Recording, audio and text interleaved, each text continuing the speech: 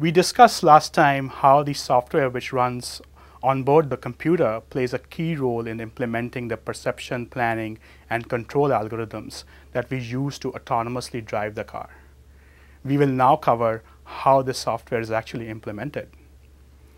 All the racing software that we use on our car is implemented using ROS. ROS stands for Robot Operating System. It is completely free and open source and provides a set of software libraries and tools that help you build robot applications which can work across a wide variety of robotic platforms. ROS is released in the form of distributions, which is a set of ROS packages. ROS distributions let developers work against a relatively stable code base. We will be using the ROS Indigo Igloo distribution for this course, which is a stable release for Ubuntu 14.04, also known as Ubuntu Trusty. In case you are wondering why we have images of turtles on the screen, don't worry about it. I promise you that their role will become very clear in due course of time. For now, all you need to know is that these turtles are called TuTurtles, and each distribution has an accompanying TuTurtle. We use ROS because it provides several packages for perception, planning, and control, and some of the packages that you will work with in this course are also shown here.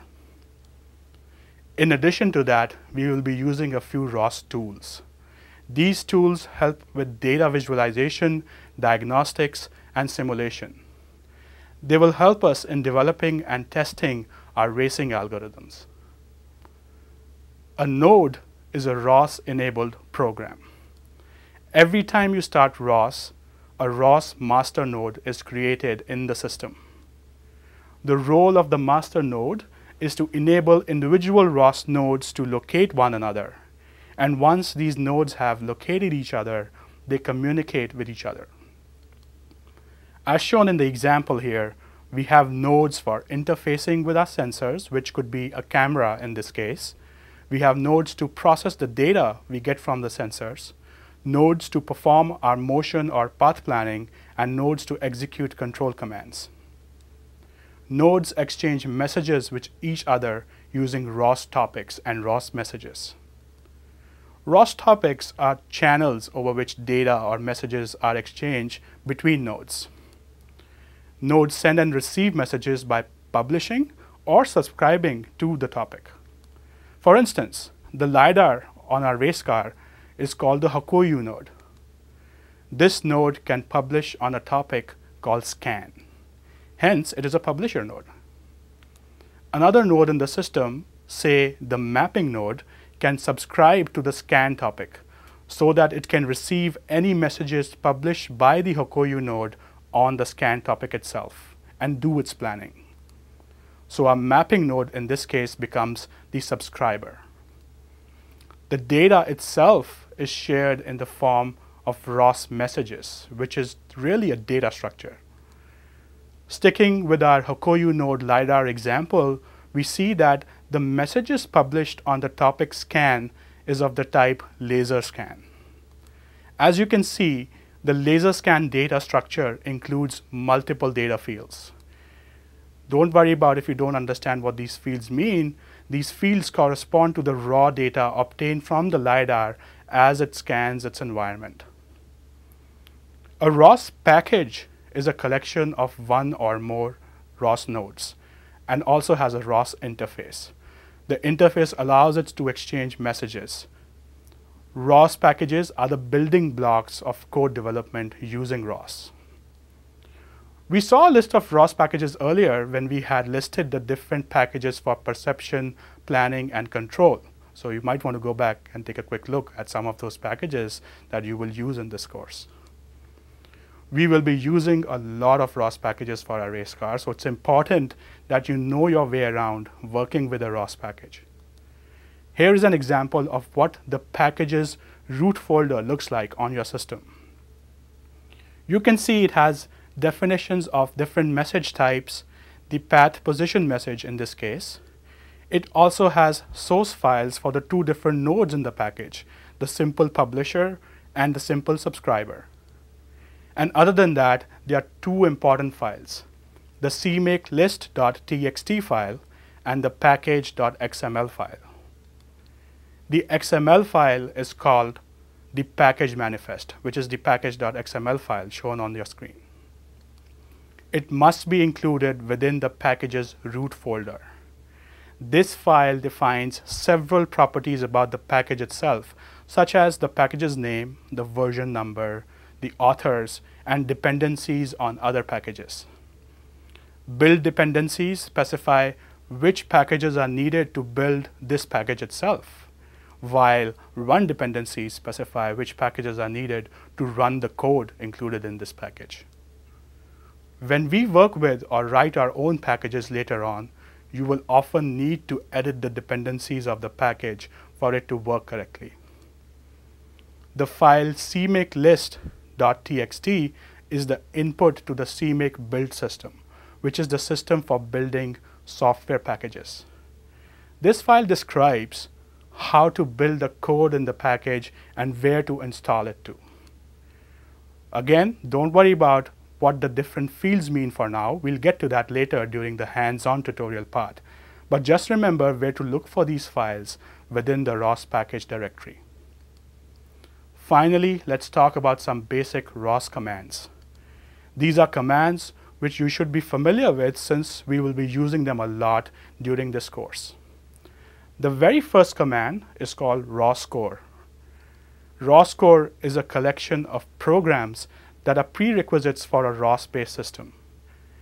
It provides naming and registration services for the rest of the nodes in the ROS system. You must have a ROS core running in order for ROS nodes to communicate. It also tracks all publishers and subscribers to all the topics. Upon running ROS core, the ROS master node is also started, along with another node called rosout, which can be used for logging and debugging all activity in the roscore itself. The next command, called rosrun, allows you to run an executable in an arbitrary package from anywhere without having to give its full path. So for example, typing rosrun hokuyo underscore node hokuyo underscore node will start the execution of the hokuyo node, which was the LiDAR node, if you recall. That will allow us to use the LiDAR range sensor and get data from it. It just happens to be the case that both the package name and the node name for example is the same, Hokuyo node, but that will not always be the case. The ROS node command displays information about different ROS nodes. The ROS node command supported by ROS Indigo that we will be using are listed here. For instance, the ROS node list will display a set of all current nodes. So it is useful command to make sure that all the desired perception, planning, and control nodes are running properly.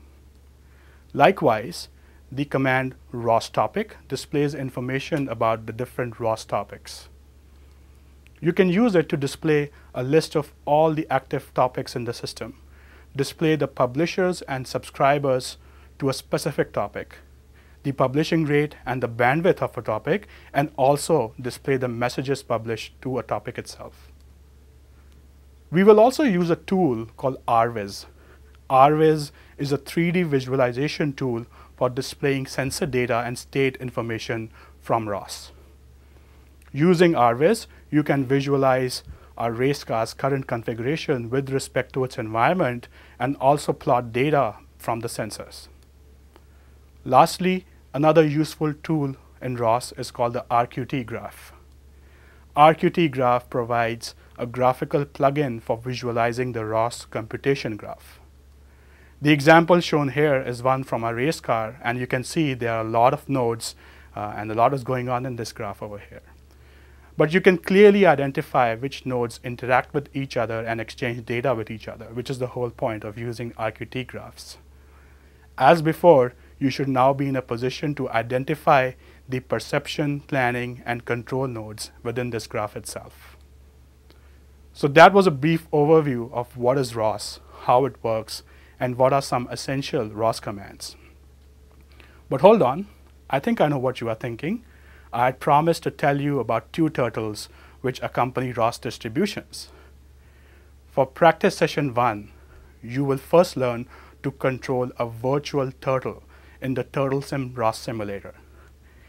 That will help you in getting familiar with the ROS directory structure, different nodes, topics, and messages, and the commands that we covered in this lecture. To end practice session one, you will then use the same principles as TurtleSim, but this time to control the race car itself from your keyboard. So let's jump into the tutorial and let's get racing.